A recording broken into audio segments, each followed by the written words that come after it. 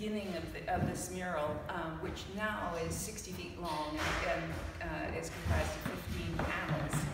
Each of the panels are 8 foot by 4 foot. That doesn't mean anything in Europe anymore, but this size.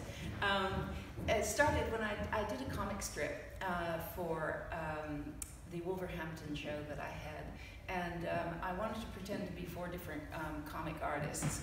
And uh, so one of the, the comic strips was called Mannequin And um, the idea behind it was that the mannequins were leaving shop windows and artist studios and um, uh, uh, mannequin dummies and other uses. Um, and they were all rebelling and they were marching.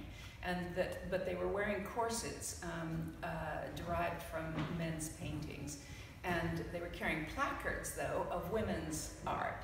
And at one point in their march, they march in front of a mural, um, and it's just a comic frame that big, um, which I wanted to make a street mural of all women in different fields. Um, so women scientists and women writers and so forth. And when I came to do the drawing, I realized I didn't know anything. I knew writers, I knew uh, female artists, but I didn't know any women in the sciences or math or um, medicine and um, that sort of thing, Mary Curie. Um, and so I had to do some research. And doing that, I felt so impoverished, you know, that I didn't know my own story.